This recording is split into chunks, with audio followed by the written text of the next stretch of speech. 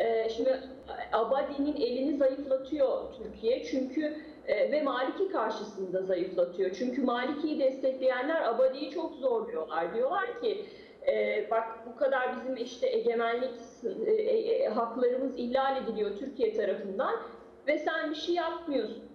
E, hatta Nuceyfi hakkında biliyorsunuz Nuceyfi e, Ankara'nın adamı ve onun hakkında bir tutuklama kararı çıkarıldı.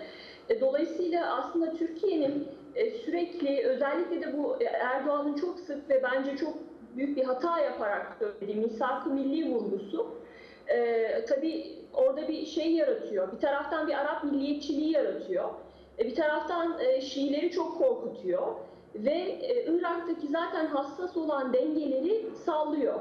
Dolayısıyla e, Türkiye'nin yani e, Sayın Erdoğan her ağzını açtığında misak-ı milliden bahsetmesi, Yeni Şam işte Musul'u e, şey Türkiye sınırlarında gösteren haritalar yayınlaması bunlar yardımcı olmuyor. Fakat Amerika'nın bir endişesi daha var. O da e, ve bu yanlış anlaşılmasın lütfen. E, PKK'ya saldırmasından korkuluyor. Yani Sincar'da Musul operasyonunu e, şey göstererek bir anlamda Musul operasyonunun arkasına sığınarak PKK'nın e, Kuzey Irak'taki varlığını bitirmeye çalışmasından endişeleniyor. Fakat bu Amerika PKK'yı desteklediği için değil. Sadece Musul operasyonu zaten komplike bir operasyon.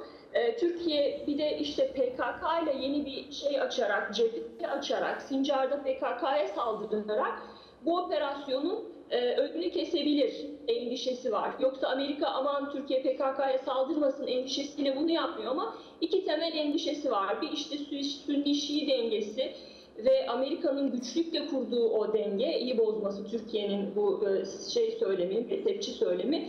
Bir taraftan da PKK ile oluşabilecek şeyler, e, komplikasyonlar Musul operasyonu açısından.